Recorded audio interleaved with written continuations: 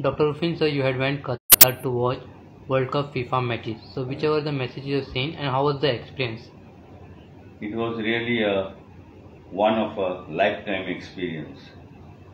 Very great atmosphere, great stadiums, and you can really feel the pulse of football when you go for such an event. I saw five matches Brazil, Serbia, England, Wales, Belgium, Morocco. Uh, then I saw Ecuador versus Senegal and Australia versus Denmark. And there were upsets in some of these.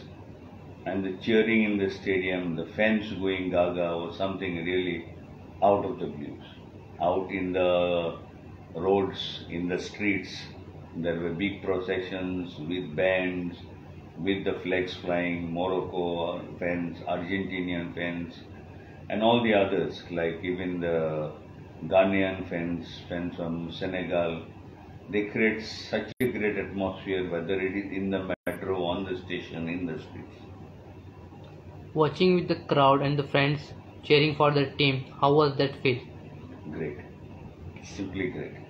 Thank you, sir.